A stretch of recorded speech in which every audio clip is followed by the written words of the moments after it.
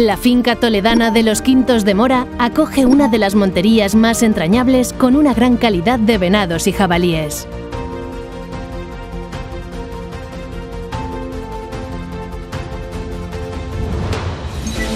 Lunes 12, a las 20.30, Montería en los Quintos de Mora.